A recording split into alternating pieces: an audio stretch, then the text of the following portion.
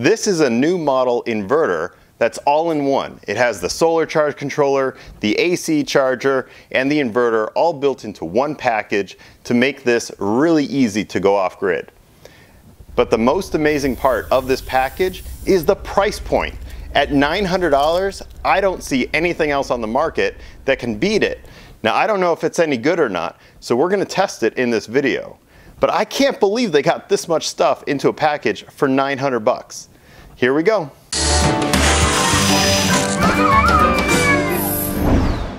Hi, I'm David. Welcome to my channel where I like to DIY renewable energy and energy efficiency projects. This video, we're going to be looking at the Growatt SPF 5000 ES model. I bought this from Signature Solar out of Texas. It sells for $900 and if you decide to buy one, you can get 5% off using coupon code DAVIDPOZ and that is also an affiliate link which will help out this channel if you choose to use it and thank you if you do. There are a ton of features in this inverter, so we might not be able to get to everything in this one video. We're gonna run through the specifications, then we're gonna open up the cover, avoid my warranty in doing so, but we'll look inside. Then we'll connect it up to a battery and we'll see what we can power with it. This is a 5,000 watt inverter for $900. Now that alone is a great price for a 5,000 watt inverter. But it is a high frequency inverter, so it's kind of on the light side. It's not as light as other 5000 watt inverters, but it's certainly not as heavy as some of the big transformer based inverters that I've worked with. Now this is an international model, which means you should be able to set the hertz and the exact voltage somewhere between 220 and 240 volts. So if that's the case, I'll be setting this to 240 volts. This is not a split phase inverter. It's single phase, meaning it's only putting out 240 volts. Now that will work fine for certain loads, such as if you're just powering something like an electric water heater at 240 volts, that's cool. But if you want split phase, you're gonna need to add a transformer to it. Now I'm gonna be showing that later in the video. Now the second big feature of this is that it is a solar MPPT charge controller. MPPT stands for Maximum Power Point Tracking. That means that you'll get more efficiency out of this and you can use a high voltage array, in this case up to 450 volts, which means that you decrease on your wiring size and your combiner box and things like that. But this is a charge controller that can charge a battery up to 100 amps, meaning from here into the battery it can put out up to 100 amps. I paid $900 for my Victron charge controller a few years ago, and that is only a charge controller. This is also a AC charger, meaning you can supply this with 240 volts alternating current from something like the grid or a generator and charge your battery. And it can do that at 80 amps. Now again, that's actually a really good price. Let me show you a comparison. Last year, I bought this AC charger off of Amazon for $130. It is a 10 amp charger. That means that I paid $13 per amp of charging. I bought Signature Solar's charger. This is a 25 amp charger and I paid $300, which is $12 per amp of charging. So a little bit cheaper than the one from Amazon. This inverter charger can charge at 80 amps and cost $900, which means it's $11.25 per amp of charging. So this is actually cheaper than the charger from Amazon or the charger from Signature Solar, where they're just chargers. This is a charger and an inverter and a solar charge controller. so again, any one of these features would be worth the $900, but you're getting three things that are all each individually worth $900 packed into one unit. So again, I don't know how they did this, and I'm really hoping that it doesn't just blow up on me, but you know, we're gonna find out. Kind of am skeptical when things like this uh, have such a low price point, but gosh, if they're not exciting to try, because you know the whole market every year that I keep doing these videos the market just keeps getting better and better the industry is making equipment that just is getting more and more bang for the buck every year. And I can't believe just in the few years that I've been making videos, just how inexpensive products have become. Now when you buy this inverter from Signature Solar, you get a couple of things with it. Uh, you're gonna get a little pack here with a CD. Now I think this little CD is gonna be the software for the computer. You're also gonna get a few cables that will allow you to connect this to the computer as well as parallel it to multiple units. Because you can parallel up multiples of these together. So if you ran uh, two, three, six of these, whatever, together, you're just increasing your total output. Now, not every inverter will allow you the opportunity to parallel them up together because the sine wave needs to be in sync between this inverter and the next one that it's parallel to and the next one. This has that ability to do so. And it doesn't cost any more. You don't have to buy an additional feature. There are other brand inverters on the market that require you to purchase additional devices which will cost maybe five or six hundred dollars just to be able to sync up two or three or whatever of these together. This one, it comes built in. So again, that's an additional thing built in for the package, for the money, more value, more bang for the buck. the bottom of this inverter is where all the connections are made. So we're going to unscrew this cover plate and that will expose where we make our connections.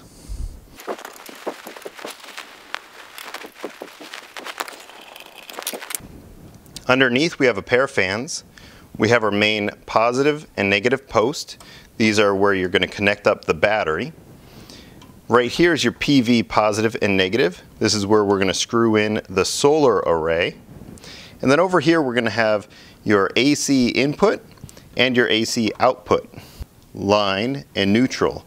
So that needs 240 volts on a single line. Down here on the bottom we have an input breaker and that looks like a 40 amp AC breaker. These ports are going to be plastic bushings, so if you run your wire straight through here, uh, it won't chafe on the sheet metal. Then we have a bunch of different communications here for your computer stuff, which I'm not good with. And then we have some parallel connection. That's if you're going to run multiple of these inverters together. Let's take a look at our wire input. This is a 4-aught. Can the 4-aught fit through there? No. So a 4-aught cannot fit through those holes. Not that you would need a 4-aught. Let's go ahead and take off the cover, void the warranty, which is right here, they have a warranty sticker on the top.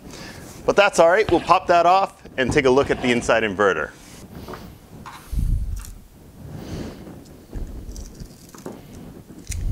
So let's be careful of this display when we pull it up.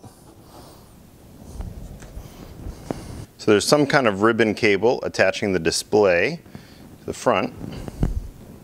It looks like the fans are going to be directing the airflow inside this plastic shroud and that is probably for these aluminum heat sinks. These are called MOSFETs and they're going to be switching on and off very quickly.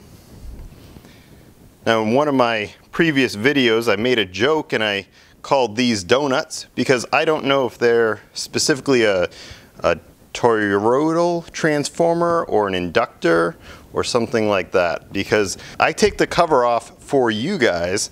I'm not an electronics engineer. I don't know exactly what I'm looking at here, but I do know that it looks pretty cool. Now over here we can see capacitors. Now those capacitors look like a dead short when they're empty, and that's why when you first put a battery connection to this, you have to be careful that you don't send too much inrush current to charge those capacitors. Otherwise, sometimes you can blow the capacitors or you can blow out the solder to them, the solder traces. These are going to be some relays, and those are switching relays for when you're running on the AC input versus running in inverter mode. These bottom connections are where the wires are coming out to the loads.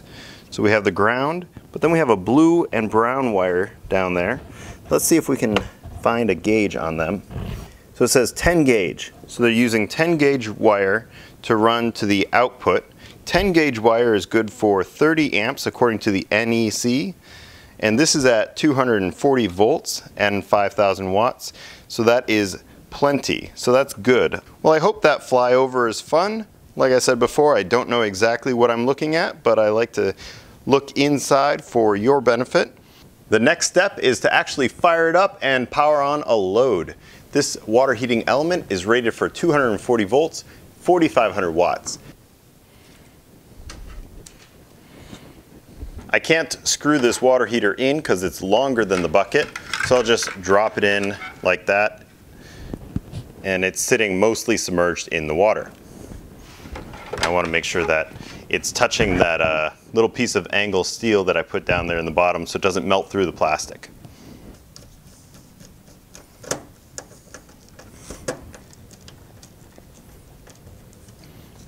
Now here's my positive wire from the battery, and right here we can put it on that stud.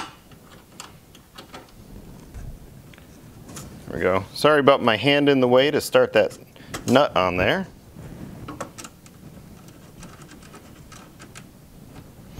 Now we can do the other one. So this will be the negative side, and we'll take that off. Run the negative wire in. Now remember, when I set things up on the bench, they're just for testing purposes. I'm using some things that I have on hand. So I just grabbed some wire. Now this is undersized. On page five of the manual, it says to use two gauge wire. Now that's the minimum. You can go more than that so long as you can make it fit and to torque it to two to three Newton meters. But when you go and hook yours up, you'll want to use at least a two gauge wire, uh, which I will be doing when I hook this up in its permanent location. You guys might notice that I'm connecting these terminals up before I turn on the battery. That's a little bit different. Usually I grab a little resistor like this and pre-charge the capacitors, which we saw inside. But in this case, I'm using uh, this Gyll brand battery bank. It turns out that inside each one of these batteries is a pre-charge resistor. Well, Signature Solar reached out to me and told me that this is a giant resistor built in here to do that exact thing. So it turns out that there's an additional feature here that I was not aware of. So when I turn this on, it will automatically do that limiting of the inrush. And now the inverter is turned on without blowing the capacitors. Some of you are curious how I attach that. That's big copper strap there goes up to the bus bar there and onto the bus bar over on this side. So we have our positive and negative bus bars. Looks like the inverter turned on without anything blowing up. That's always a good sign. Now let's go through the menu and see if we can set this up. Uh, I have not worked with this menu before, so it might take me a little bit, but I'll edit it down so that it's quicker for you guys to see this will be the battery, so 52.4 volts DC, and this is probably the output of 230 volts alternating current AC going to the house. And we're currently using 0% of the 5,000 watts that this inverter can output. Up here it says we need to press and hold for three seconds the enter button. Let's do that. And setting number one, output source priority, solar, awesome. Okay, so now we'll go to, looks like we're gonna scroll down. So now we're on option number two. So we're in the manual on page 16. Now we went to option number two. Well, the options in this menu get pretty long and boring, so I'm just going to skip ahead to some of the good ones, and you can go through individually if you are programming your own inverter. The manual is pretty straightforward on what you need to do. Battery type. Now in this case, it says here lithium, but only when you have communication with the BMS. I might have a communication ability with this BMS, but I haven't looked into that yet. So at this point, I'm just going to define this as user defined 2, which is when lithium battery without BMS. There we go. Okay, so now that I switch this toggle switch to off, so we're in standby mode, I can now adjust this setting.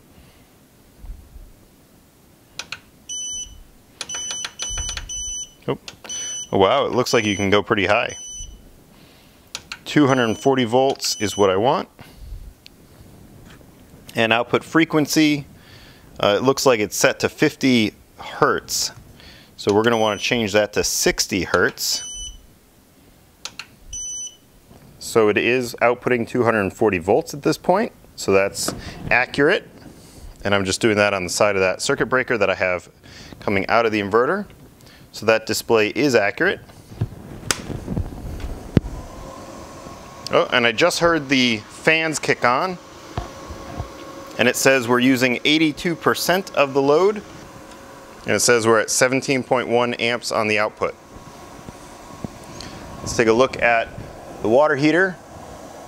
You can see all the bubbles starting to, so it's outputting 4.1 kilowatts out of the five kilowatts this is able to output.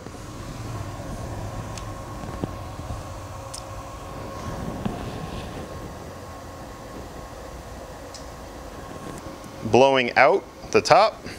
So that's good. It's sucking in air at the bottom, blowing it past those heat exchangers and blowing it out the top. I can feel it.